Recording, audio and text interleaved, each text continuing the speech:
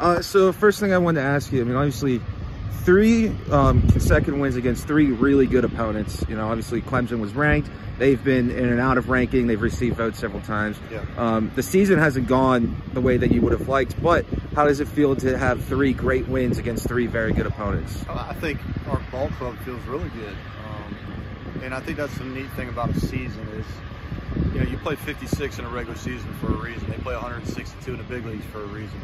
Uh, it's not where you start, but how you can learn to grow as a team. And most importantly, let's make sure we keep guys healthy and play our best baseball game. But we've been really happy with what we've seen in the last three games. In those last three games, um, we've had 18 runs against Clemson. Nine of them scored within the first three innings, six in the first inning today.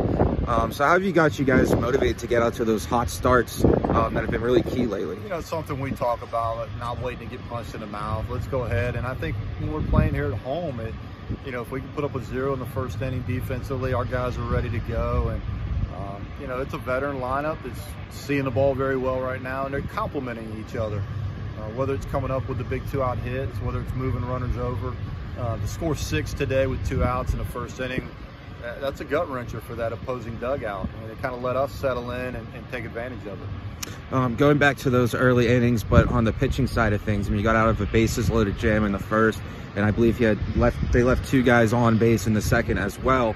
Um, so how important was that uh, for your team too? The first inning zero was huge. You know, uh, bases loaded, one out to get the ground ball to third, uh, to play catch. You know, throw the ball home, play catch, throw the ball first, get the double play. Uh, you know, pitch, pitching the contact and allowing your defense to smother. That was huge, and it just allowed our guys to breathe a little bit. On the flip side, you know, they could have busted it open right there, and then we would have been chasing them. So you guys um, obviously caught, you know, them missing third base on the play. Now that would have tied the game up. Mm -hmm. um, so I guess my question would kind of be is, you know, the fundamentals of just making sure that you do the small stuff like that.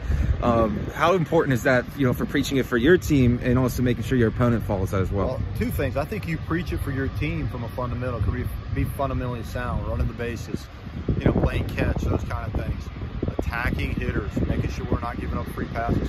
But I thought it was a great job by our dugout too, staying in the game and, and as they saw the play and it was an awkward situation and, and, to see him miss it, and, you know, our replay system here is phenomenal. Uh, there's no doubt he missed it.